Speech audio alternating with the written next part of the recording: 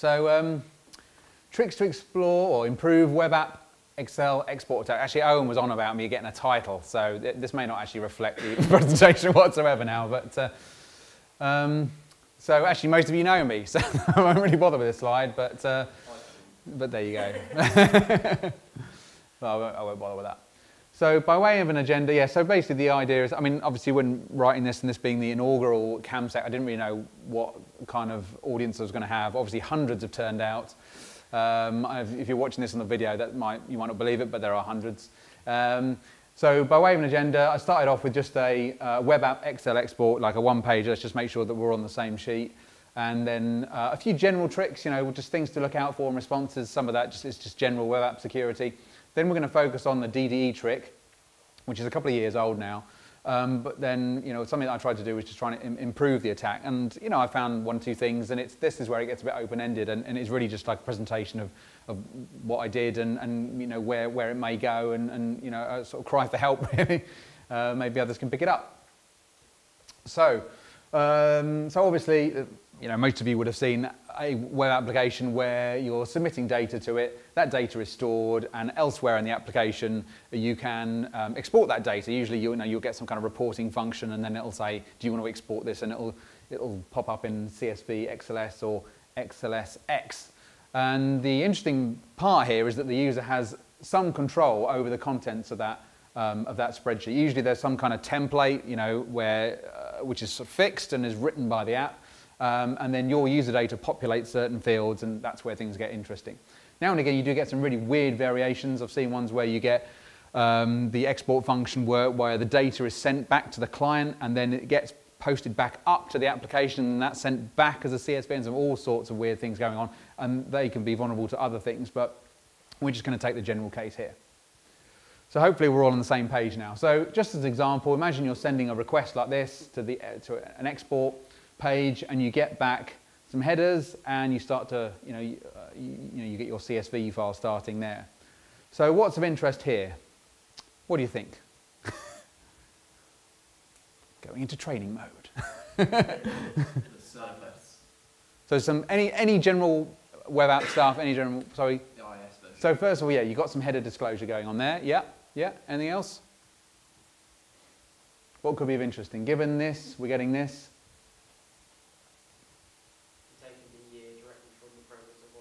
Yep, so you potentially, you know, we've got 2016 up here, we've got 2016 here it's, and here.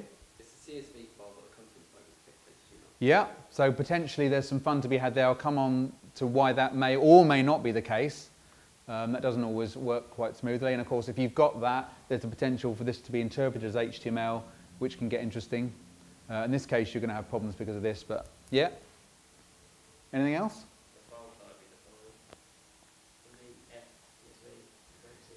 Yeah, might be able to play with this, absolutely. That's good. So I'll just sort of fly through. So um, first of all, it's HTTP as well, so you know, watch out for that.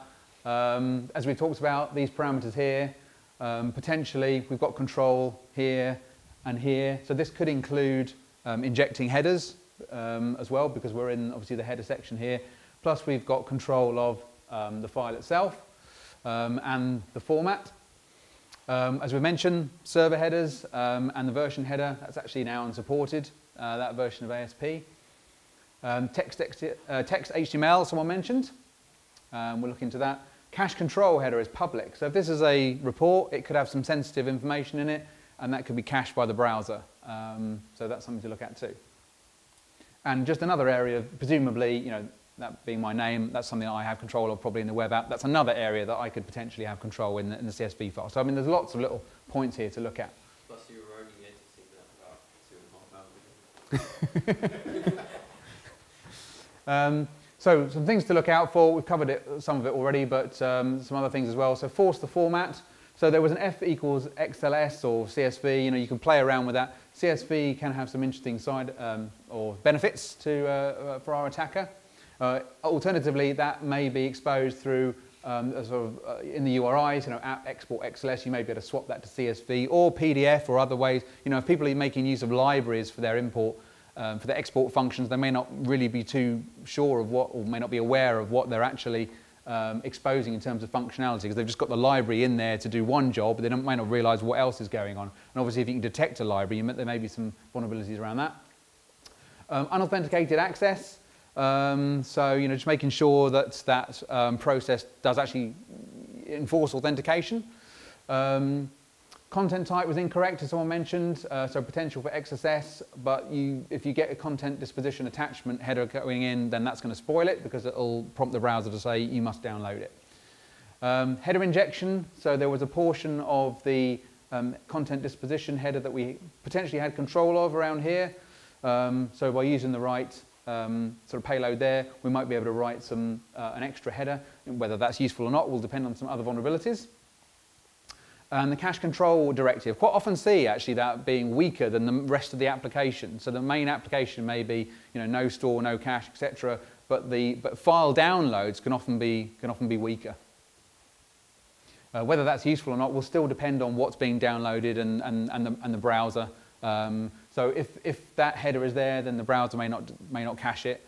Um, and you know, that's just going to depend on the, on the browser and some other factors. So the DDE trick um, is another thing to try. So we talked about um, earlier that there were some fields potentially in, in the web app that we had control over um, that when they came to be exported would appear in a, in a CSV file or some kind of spreadsheet. So that's of interest, um, particularly for this trick, DD trick. Now, Dynamic Data Exchange, which is what DD um, expands to, is an old Microsoft technology. Yonks, really old, really old. Facilitates data transfer between applications and is a form of inter-process communication, which we'll see, hopefully, if the demos work.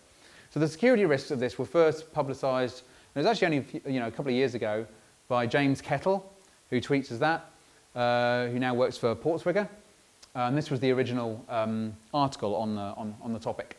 So the basic idea is consider a spreadsheet, spreadsheet cell uh, with this as its value, equals CMD, pipe, and see that for yourself. So this is the basic structure of a um, DDE call in, um, in, in, sort of Excel format with a, with a pipe and, a, and an exclamation mark as a sort of delimiter, where you have a service, a topic, and an item. So you imagine that some DDE server program has registered itself, if you like, with the operating system, saying, hello, uh, this is my service, and, and then this is the way that you can inter interact with it. So that's the service, that's the topic, and that's the item. Now, of course, well, this is called the sort of DDE trick, but there, there is no DDE service called CMD. So Excel just go, so Excel will make that call, will try and find if there is something called CMD out there, sort of listening for instructions, will fail, and we'll just go, well, in the absence of that, I'll just sort of run it. I'll just, you know, let's just, I'll just run this and, and you know, see where we go. So it'll, it'll, what it'll do is, is, is offer to run that program and hope that that will solve the problem. And of course, this being CMD, .exe, you'd then you know, get the calculator fire up. And of course, you know, you can just have some fun with other, uh, other, other, other options which we'll sort of explore along the way. But you know, at the point that you get the code execution, you know, the, the paths there are, are well known, and, and so that's not really what this is about. You know, it's, a, it's the, this is really about getting to the point that you get the command running. Because this doesn't just happen automatically. As you can imagine, you know, there are some warnings that come up before, the, before you, you start you know, running executables out of uh, Excel spreadsheets, as you would hope. So the typical warnings would first of all be this. You've downloaded something from the internet. It'll then come up and say, you know, are you sure you want to have a look at this? So you, you, you enable. Um, you then get a couple of uh, other warnings, uh, depending on the context. So probably the first time you run the file, you'll get a, this sort of security warning. Um, and, and then possibly later you might get this kind of warning because the file has been trusted at this point. You're actually making registry entries when you, when you click these. So um, Excel uh, will remember you know, that, you, that you're happy with that file. And then uh, if you open it again, it'll then uh, ask you if you want to update the, the links. Um, uh, and if that hasn't been enabled uh, to, to happen automatically, then it'll ask you this question. So you'll get different sort of flavors of dialog box there. And then lastly, as it says, remote data not accessible. So there is no sort of DDE call that's working. So, you know, it'll try starting an, uh, another application. Do you want to run cmd.exe? So, you know, some of these um, are probably quite likely to be clicked through because if you think about the original context where you've got someone using a web app and they're, they're making an, uh, an export of a, of a report or you know, whatever it may be, you know, they have actually voluntarily done it themselves. You know, this is typically a sort of stored attack. You know, so you put your payload up there in the app, it's there, it's ready for someone to just, you know, um, to, to hit it. So they've requested the download. So it's quite likely that they're going to click through these because they've, they've done it. You know, this hasn't been forced on them. Uh, you know, they've, they've generated the, the export, they've, they've asked for it. So yeah, they're going to click through through these. Whether they get down to here and start being suspicious and, you know, ring up the IT security department and say, I think, I've, i think there's a problem. Yeah, well, you know, not too sure about that. Um, these are some statistics from um, an in, uh, internal um, phishing platform uh, at NCC. So I asked someone to put together some statistics for the percentage of people that click through warnings. So this particular kind of uh, attack where we've got a spreadsheet now, in this case, it has macros. Now, DDE and macro are completely separate. So, which is interesting from a red team point of view and, and you know, generally from web app point of view uh, for this particular kind of attack, because if you disable macros, this, this will still work. Um, so, but anyway, just for the statistics, um, this was about spreadsheets and, and macros. So um, the difference being, you know, we could tell whether someone's opened the spreadsheet or opened it and enabled the macro. Now, obviously, we don't really have visibility of how many warnings there were, etc., but we know that they've got, you know, so to the point that they've enabled the macro. So, you know, pretty good there, pretty good there, not so lucky there, but that's, that's, the, that's the game. So we know that people will click through warnings, and particularly, as I say, in this context, because they might be expecting, expecting it. So where do these warnings come from? What are the sources of, um, of these? Oh, by the way, this was, this was the setting of someone that uh, that I know in the financial sector. So, because uh, you know, sometimes there are sp spreadsheets flying around that they've all got macros in, and so they just enable it. You know, so obviously in that case they're not going to get any warnings whatsoever. So you may be lucky and hit someone like that.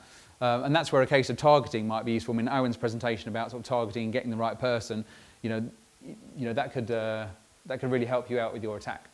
But that's kind of a more of a you know red team sort of exercise um, rather than web app export that I'm talking about. Okay, so back to the, the source of the, uh, the warning. So in the Trust Center, um, which is a sort of common set of settings for Office uh, documents, you've got um, settings for protected view, which are obviously all on uh, by default. Um, but for the, and the, external content, which is where we're talking about this, there are links in here. Do you want to enable them?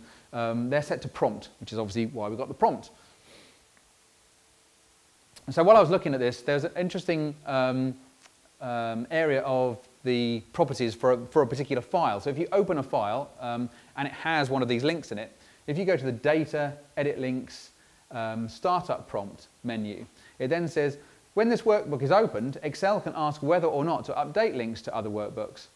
So the default is let users choose, but there is an option, don't display the alert and update the links automatically. So the spreadsheet itself contain a setting which says, don't ask the user about updating links, just update them um, which sounds cool. You know, it sounds like you know a, a, malicious packet flying through the network with the with the evil bit set to off. You know, it's just uh, it's just going to work. However, unfortunately, life is not that good for us as um, uh, as pen testers because while it is a setting of the of the file, so it will follow the file, it's only effective if the file has been previously trusted.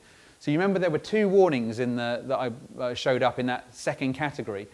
Um, one would, would, comes up when you first see the file, now, if that setting is set subsequently, then you won't get any more warnings about it. So you still will still get one warning the first time you run the file. You just won't get the warnings the, the second, third, fourth, five, you know, fifth, sixth time.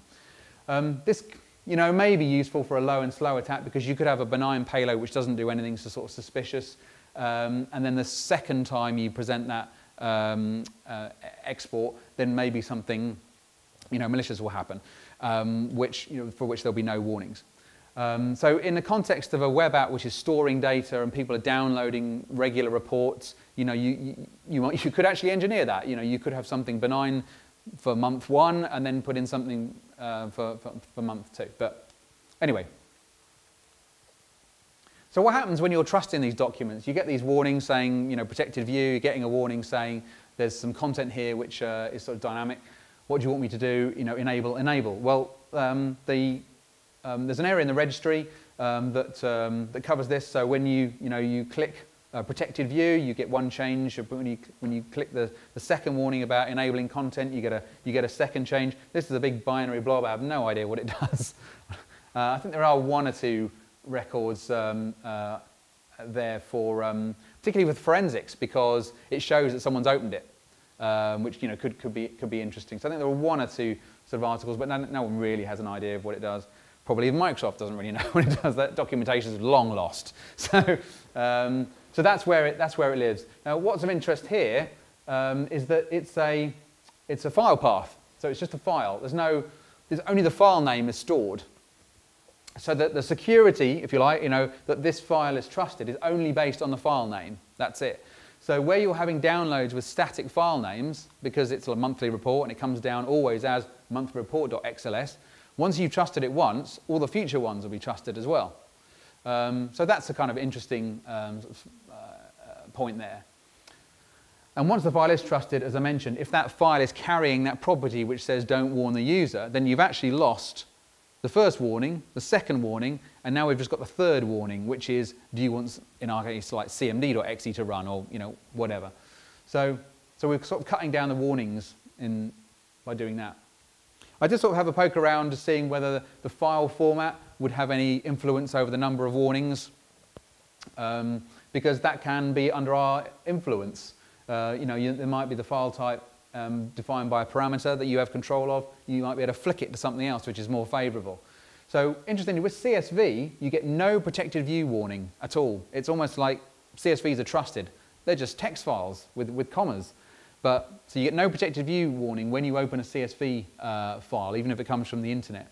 Sort of a downside from that, um, if you're going for that sort of low and slow attack, is that you, it can't contain that startup prompt sort of setting because it isn't clever enough. It's just a text file. So that kind of data about itself doesn't exist with CSV, so you wouldn't be able to do that.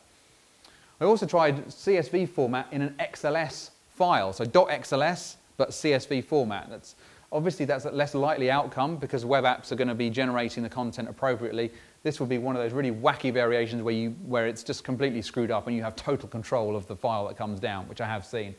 Um, so if you manage to get the CSV format in an XLS file, uh, then you don't get a protected view warning, even though it's .xls. Uh, you get a format warning instead, which is a little bit less in-your-face security warning. It just says, this is the wrong format, rather than security warning, which is you know, the banner at the top. Um, a couple of other warnings that disappear as well. Um, downside of this again, you know, that's not, they're not going to be trusted because you're not hitting the button to say, I trust this, this has come from the internet, I trust this, it's not going to be remembered. So depending on where you're going with this, that, there may be some um, disadvantages to that as well as advantages. So we've talked about the first two sort of sets of warnings, why you get them, where they come from, um, how they might uh, sort of disappear if you're in, in, in, certain circumstances, particularly when, you're sort of, when the, the same file is encountered. What about that cmd.exe warning? Um, well, you could use some built-in functions. Instead of, instead of trying to do um, the DDE trick, there may be some other fun that you can have with built-in functions within Excel which will just, which will just run, you know. Um, so this one's quite well known, you know, the, the idea of uh, equals hyperlink. Um, so that's a, that's a formula that you, can, that you can put in a cell, which will create a formula um, and will steal data uh, if you click the link. Um, you can also, there is limited information about the system available through other um, uh, Excel um, sort of directives like info directory, um, we, you know, we'll get you the current uh, directory, etc. But to be honest, there's not an awful lot of exciting data there.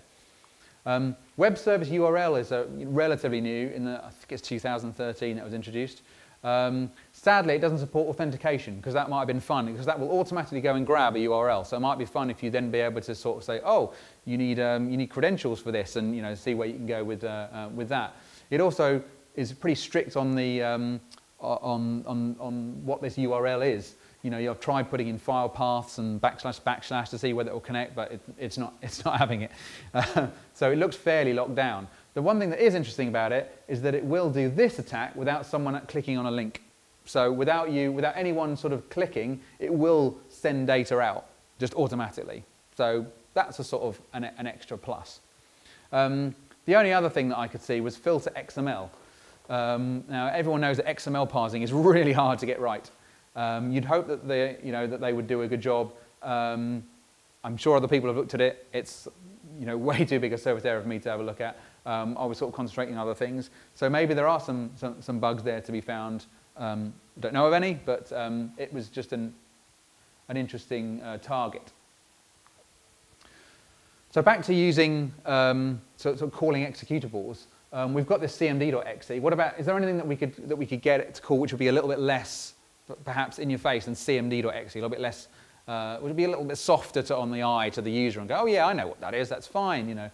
Um, so something I noticed during testing was that, um, so for example, equals PowerShell, um, uh, as an example, was coming up with remote data not accessible. Do you want to start the application? PowerShe, which sounds like some kind of superhero.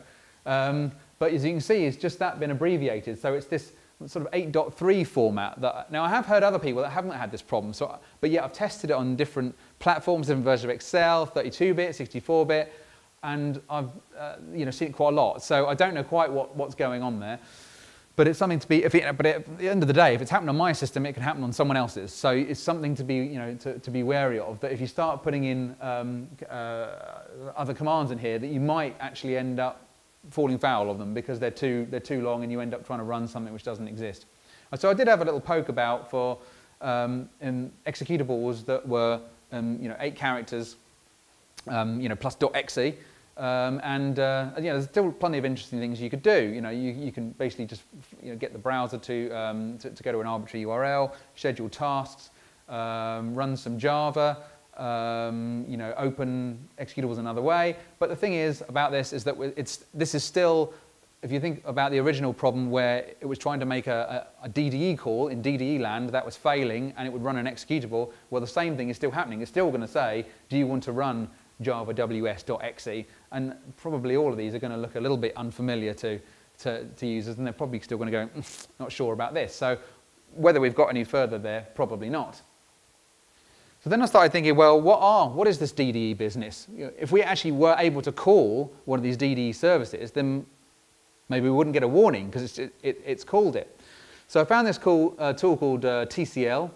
Um, someone used this before? Come across this before? Uh, yeah, I mean, I've not really played with it before. And it has this sort of DDE package inside it. You have to call it. So I'm going to run this demo um, now. Um, so I've got cunningly everything pre-scripted. Um, so the first thing, I don't even trust myself to get that bit right. um, so you've got to install a package to get it to, to do DDE stuff. So the first thing is to find out what's going on right now. So these are the sort of, um, these are the topics uh, services and, and, topics that are, that, are, that are running right now. So now if I fire up Excel and run that again, so you see now that Excel is now one of these um, one of these services and is exposing certain topics. So this is really just proving the, um, so let's actually just put some data in the Excel spreadsheet first. Um,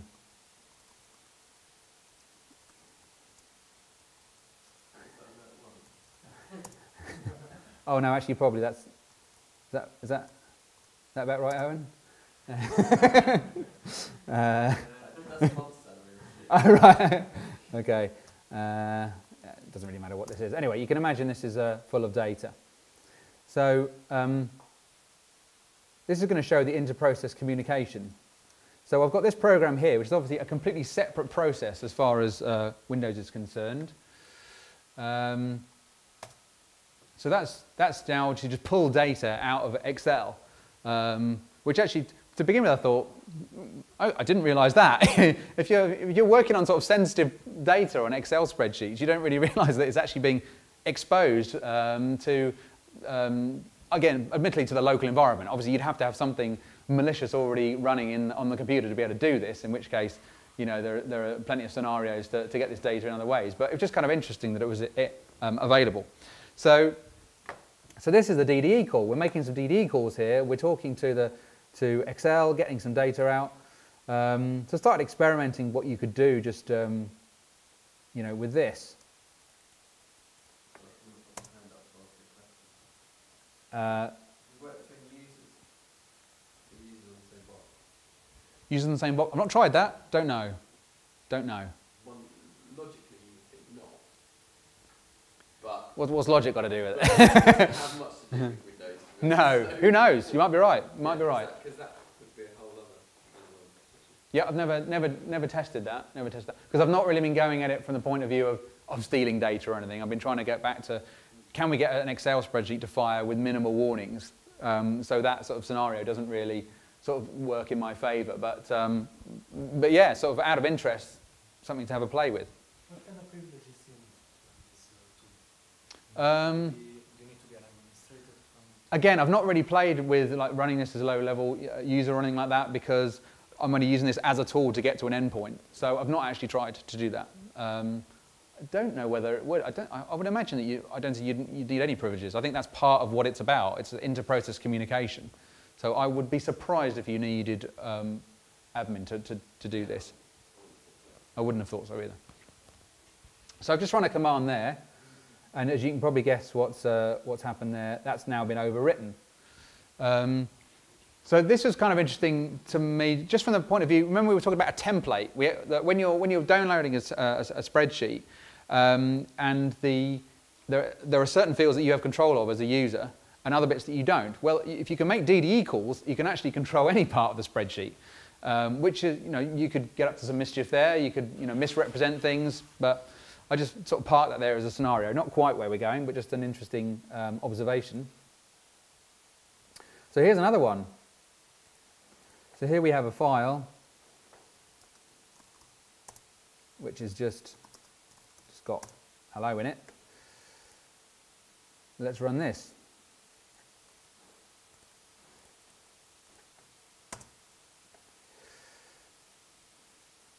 So imagine that as a sort of DDE um, call. Go back to our command prompt. Not there.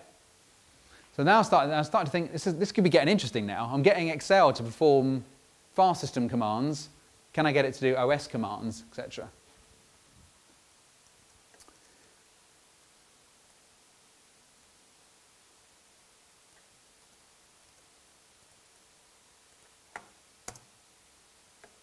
Excel is now hello, hello world. Let's just go back to that. So this is actually a, a macro, an Excel macro, but this is pre-VBA day. This is how old this technology is. It's some sort of language, I think it's called um, XLM. Um, so this is before uh, Microsoft decided to do macros, you know, in, in, in VBA, in Visual Basic. Um, so there's a whole other language just to running macros. This is, I, I, told, I told you that DDE and all this kind of stuff was really old and where we're going with this. Um, um, unfortunately, there doesn't seem to be anything that can get to, although, although in XLM there, there are commands that will run commands, sorry, there are sort of functions that will run commands. They don't seem to work using this, which is, I don't know whether it's something I'm doing, it's kind of frustrating. And part of the problem with this is that there's absolutely no documentation whatsoever on the internet, probably because, you know, basically this pre-existed the internet, so, um, so there's no documentation anywhere. Uh, it's been really tough just finding out little bits like, uh, little bits like this.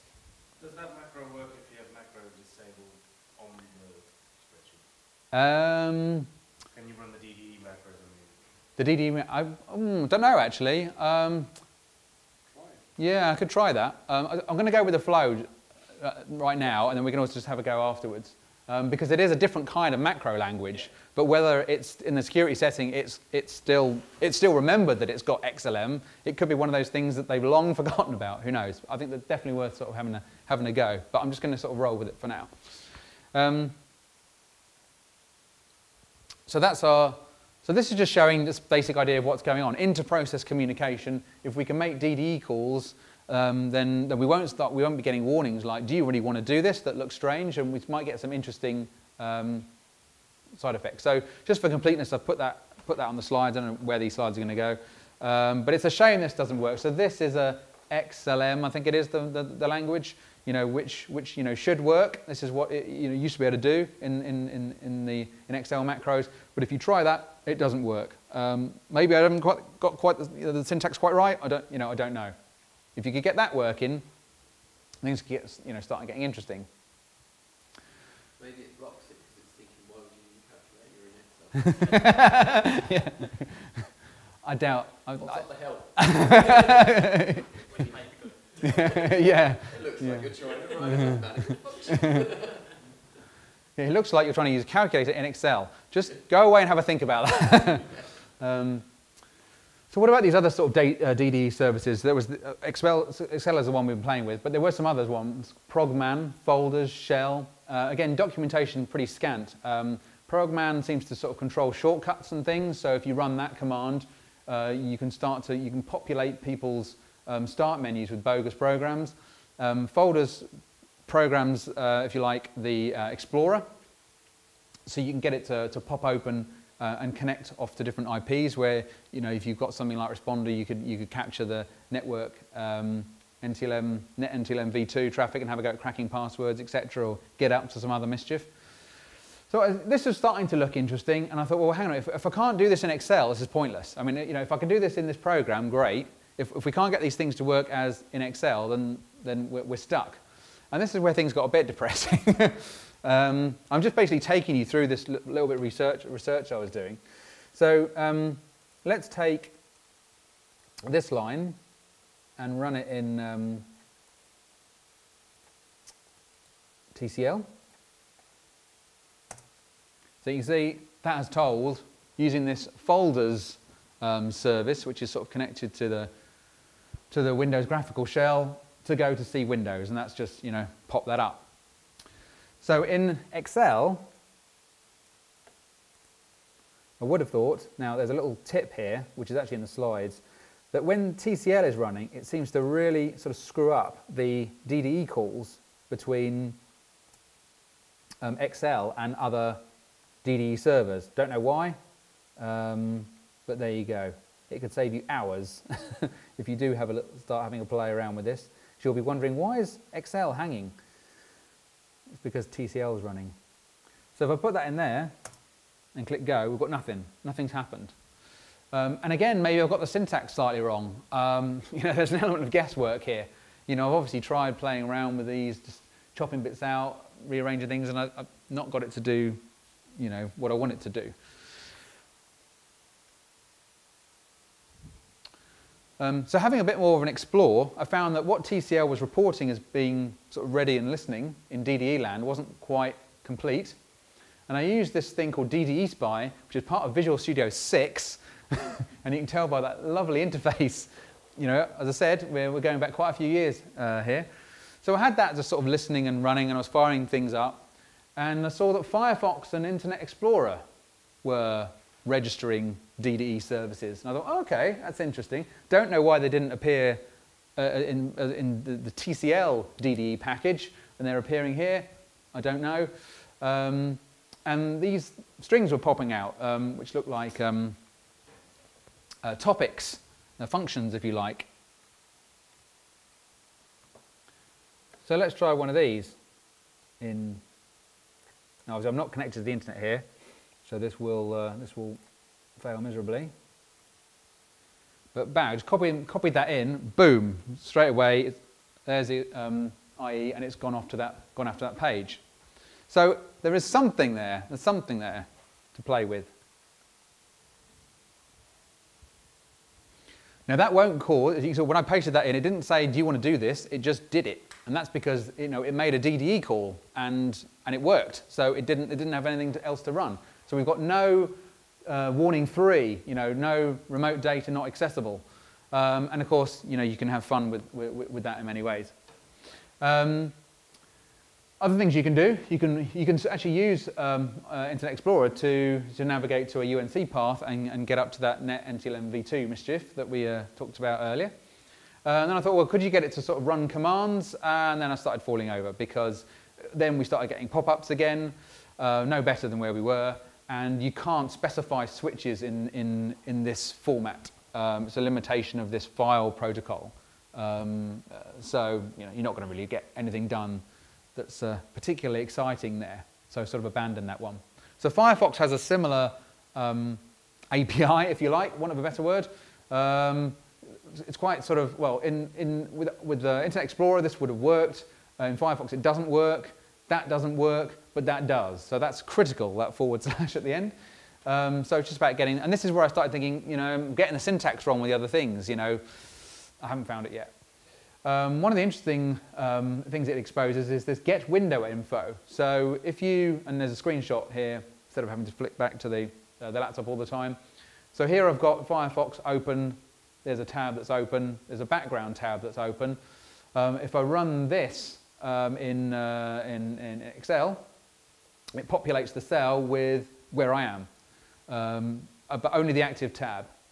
Um, so another good reason not to have sensitive data in, in the URL, um, even when it's HTTPS, because people can nick it. so that's Firefox.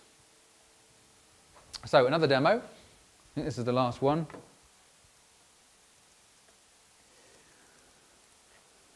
Um, oh no, I need to be on here.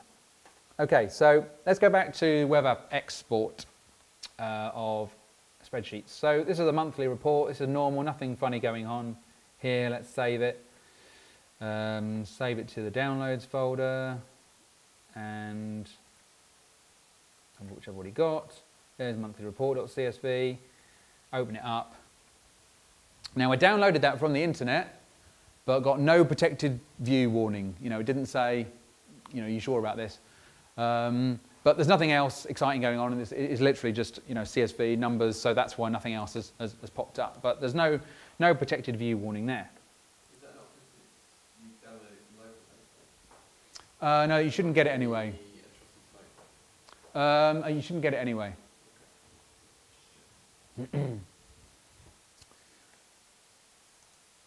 right, let's get. Now, this is a malicious one. Relatively malicious. So we'll just overwrite that. And run this. So now we're getting a warning uh, because there's something funny going on. So we'll enable that content. So we've enabled that. We've got no other warning. It hasn't come up and said, do you want to run this, that, and the other? Uh, and in that suspiciously blank cell is that. So it's navigated me in the background. And if I go back to Firefox, I've actually got what could be a pretty good phishing attack here. Because you know, if you imagine I was on the export page for this application, and I did an export, opened it, I go back to my browser and I've got a tab which says I'm logged out and I need to put in my username and password. So that could be a really good way of stealing, stealing creds. I think that has real, you know, uh, genuine sort of impact to it. You know, you could see that actually working. Um, and that's without any other warnings. So uh, actually, if I go back and do the last one, now for this, I'm just going to get this working, responder. Uh, save that file. And open it.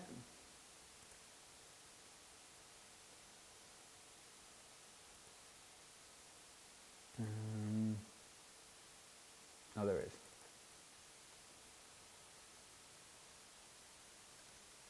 And there you go. So I've got a hash. And now that is just doing a very similar thing, but just you know pointing to a UNC path instead. So there's something quite, you know, it's just that's something quite similar.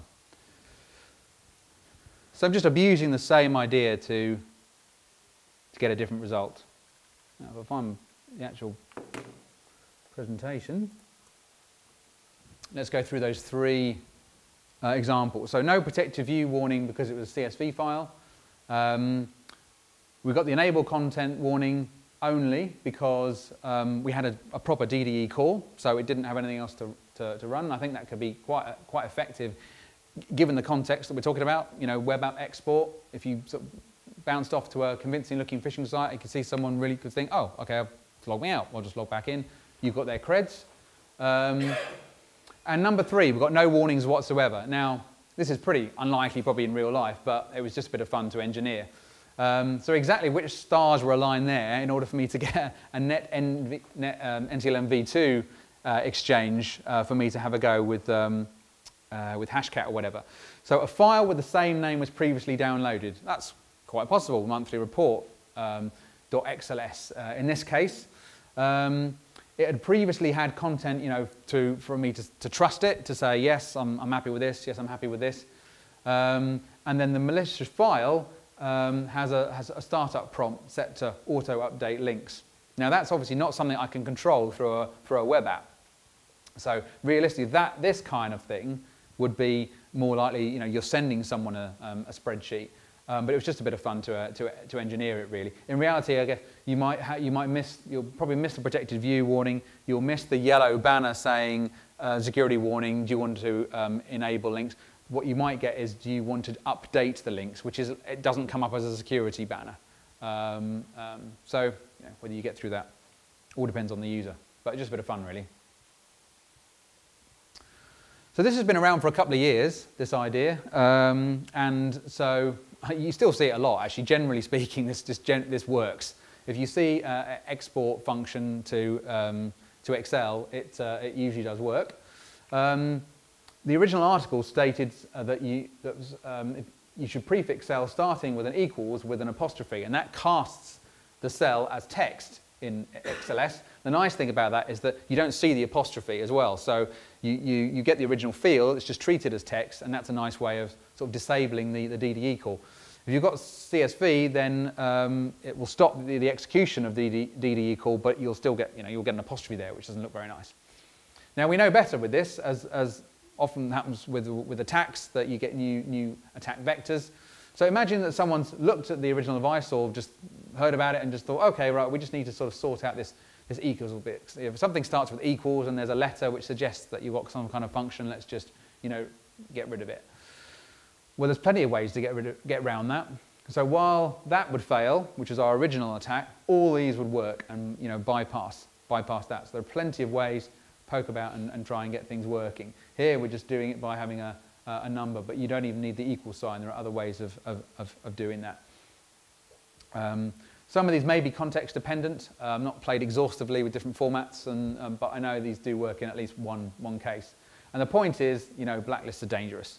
So if you do encounter some uh, suspicious um, behavior in the sense that your, your input's being rejected, then um, it may be a way that you can, you, you can get around it because they've got a, a filter in place. So what are the lessons here? If you see Excel export, dig it, dig in it. You know, you might, I don't know to what extent this is um, sort of new material to you. I know sort of um, when I've done this before, I've had many people come up and say, oh, I didn't know about that. And I've since had emails saying, um, you know, what was that, what was that payload again? And, and etc. So um, it's certainly new for some people, even though it's a couple of years old. Um, we're exposed to so much new stuff all the time, it gets forgotten about. So that's um, definitely worth having a, having a poke with. CSV is not a benign format. You know, you can have fun with a CSV, and DDE is not a macro. So even if people are protecting themselves by not running macros, still might have a, uh, be able to get around that. Blacklists may not be robust. You might be able to get around it, as, as we've seen. And much of this applies to red teaming. I've, you know, I've tried to focus on the, the scenario where you're, uh, you, have got a web app, uh, it's got Excel export. Your job is to look at the security of that, and you're reporting on that. But if you're, in, if you're doing red teaming and phishing and la la, and you're sending spreadsheets to people uh, by, by email, then a lot of this uh, could have some uh, import. And we've seen in some cases it is possible to cut down the Excel uh, warnings, but very much work in progress. You know, I've managed to sort of to cut it down with some limited sort of fun, if you like, um, with, with, uh, with the Internet Explorer or um, uh, Firefox, for example. So where now? Um, probably trying to enumerate this surface area a bit more, you know, what these service topics and, and items, as I said, it's very poorly documented. Um, by just sort of doing some, some strings on the, uh, on the topic names, um, this is where the Internet Explorer sort of um, DDE um, calls initially go to. Firefox is there, and the Progman shell folders um, lives in here. So these are the files that are, that are, that are doing the work. These are quite attractive as targets for, for DDE because they're always running. That's the thing. Similarly, if you do find something to exploit in Excel, maybe using the XLM macro, if you can get it to work, um, then that's a good one because you know Excel, they're opening it in an Excel document, so you know that that's going to be running. Similarly, because the Windows graphical shell is always you know, running when, when people are going to be using things like Excel, they, they're attractive targets um, to, to get. But the point is, can they be exploited in Excel? And, and I, I put an example here where I could get something running in a, using an, a, a proper native DDE client, but when I tried to sort of adapt it to, to what I hoped would work as, as an Excel cell, it didn't work, sadly. So, you know, I had a bit of a play to saying, is there something about the characters here? Is there something, is it, this is it, is it Excel's doing or, or what? So I knew that this worked. I knew that I could open an arbitrary sort of URL. So I just fired in, you know, the kind of things that I was trying to pass in uh, to the uh, folders service. I just put in as a, as a parameter here on this, uh, in, in, in the URL. And where it went to was up to here. Um, so what I found by playing around with this is that URL style characters were, were accepted. So um, you know, if I put in, as you can already tell, because you know, I've got a dot here, you know, I've got a question mark through here, and, and Internet Explorer was directed to the, this URL successfully. So that's kind of making sense. And this, kind of, this suggests that Internet Explorer itself is, is looking at the, what's coming in and going, I'm not happy with that, I'm happy with that, this looks like a URL, okay. Um, so that was kind of interesting. And it, this was kind of confirmed by playing, by doing exactly the same thing with Firefox, where I got a completely different result. Sort of suggesting that the same data is going to the service, but the service itself is, is then performing some input validation, as you would hope, you know, being inter-process communication, that, that, that it will be looking at this untrusted data and going, does this look like a URL? Does this, you know, what's going on here? So this gave me a little bit of hope that maybe, you know, I was getting the syntax wrong. Just for the hell of it, I ran an equals CMD uh, which we know also runs with this entire string, uh, which is echoing it out, and it did echo it out. Don't, not too sure whether that's really quite representative because we, we know that this isn't a, DD, a proper DDE call. I, you know, I just know that Excel is handling that and, and passing it, but you know, maybe that's a little bit unrepresentative. When get, you get to a point, and if you've ever sort of poked about, and particularly where there's absolutely no documentation, you're thinking, Feeling like I'm hitting a bit of a brick wall here. Why is that? Is it because of this or this? So am I sort of poking around up here and there is in fact a little hole here that I haven't found yet or is in fact the entire thing solid and I'm never going to get there? And that's of course the, the, the gamble of R&D when you, when you, when you um, give up. Um, so you know, I don't know whether um, I have hit a brick wall because of this or because of this. Um, that, as you can see, the main, one of the big problems is that, is that syntax, getting it, which is a bit thorny, is just trying to get, get, get the, the, the correct syntax um, into um, sort of the Excel uh, payload.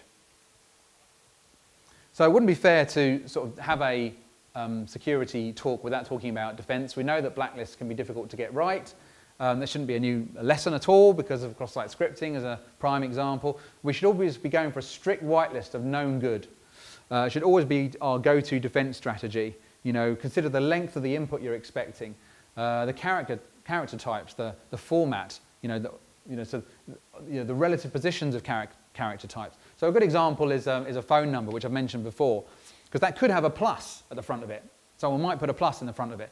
And we know that pluses are a way of doing DDE calls, but then after the plus, you're always expecting a number um, or maybe a, a bracket with a, with a zero or something like that. It's fairly well sort of established what that format is. So there shouldn't really be any problem in hardening what you're expecting to be a, a telephone field. Otherwise, if you're talking about export for XLS and X, just always prefix the user input with this apostrophe. Don't, don't go, if it's this, do this, just always do this. Um, this, is, this will break some uh, functions that work on that cell, particularly numerical operations, because by prefixing it with that, you're saying this cell is text. So if you're trying to do a numerical um, uh, um, operation on it, it may just balk. But then if you're expecting a number, well, you know, do this right instead. So the, you know, this can't be quite successful. The trouble with that is that if you are dealing with CSV, you're gonna, it's a bit ugly, you'll get something ugly uh, in, the, in the cell itself. You'll have this apostrophe. But maybe better that than you know, something launching.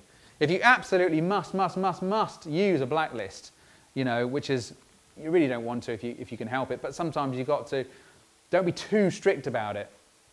In the vast majority of cases, the normal input, what, you, what people are generally writing in these fields, isn't going to look anything like a DDE call or, or a formula. And remember, we've got to cover formula as well the Excel formula. It's not just DDEs, it's formulae as well. I mean, there's some suggestions as a, as a starter. I mean, have a play with that um, and, and, you know, test it against a few cases. It certainly works against the, the cases that are in the slide a few slides ago. I'm not saying they're bulletproof at all, but it's just something to, to start with. So that's it. Um, tip of the hat to a few people there I've nicked ideas from and, uh, and just sort of pushed forward. Um, that's it, really. So, does anyone have any questions on any of that?